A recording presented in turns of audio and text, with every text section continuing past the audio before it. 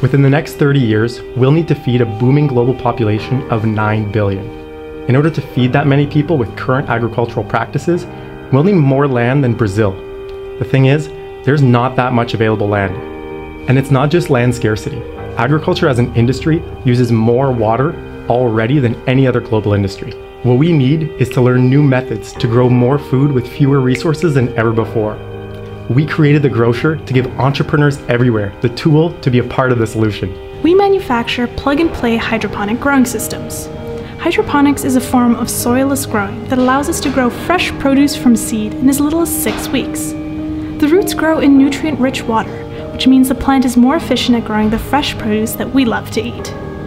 With this style of cultivating, our system can grow up to 12,000 pounds of produce annually at temperatures as low as minus 52 degrees Celsius. We want our farmers to get growing quickly. Once delivered, it is easy to connect the system to power, fill it with water, and get growing right away.